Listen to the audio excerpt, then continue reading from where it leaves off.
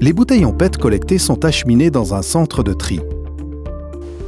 Seuls 10% arrivent en vrac, 90% étant pressés sous forme de balles.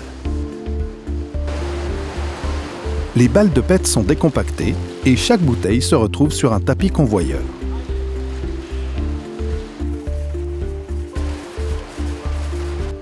Un aimant permet d'en récupérer le métal.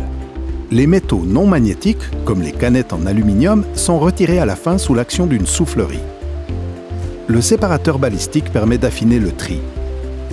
Les matériaux plats, comme les films d'emballage en plastique, progressent lentement vers le haut. Quant aux bouteilles, elles roulent par gravité vers le bas pour rejoindre le tri électronique. Le tri mécanique permet d'identifier le matériau et la couleur d'une bouteille. Selon son type, la bouteille se retrouve projetée par une soufflerie vers la voie de tri correspondante. Après plusieurs passages, les bouteilles sont séparées en bleu clair, vert, multicolore et transparent. Comme il s'agit de réaliser à nouveau des bouteilles à boissons en PET à partir de bouteilles en PET usagées, les bouteilles triées doivent être d'une pureté supérieure à 99,9%.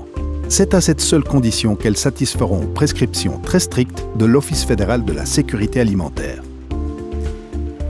Le tri mécanique ne permet pas d'éliminer jusqu'aux dernières particules de substances étrangères. C'est pourquoi on intervient encore manuellement pour trier les bouteilles à boissons en PET. Cette intervention est coûteuse et montre à quel point il est important de déposer uniquement des bouteilles à boissons en PET dans la collecte du PET. Les bouteilles en PET ainsi triées sont compactées en balles pour être ensuite transformées en PET de recyclage dans l'installation de valorisation.